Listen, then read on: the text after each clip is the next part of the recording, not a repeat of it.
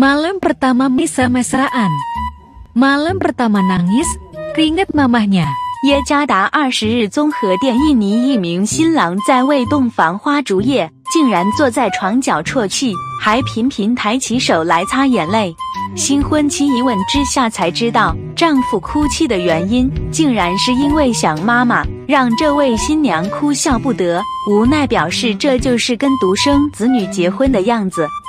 新娘十一月七日透过 TikTok 的 Sweetlights 账号上公开自己洞房花烛夜的影片，只看到一名男子背对着镜头坐在床角频频拭泪，还哭到肩膀发抖。下一幕虽然躺在爱妻旁边，但还是止不住眼泪，接着又坐起来继续哭。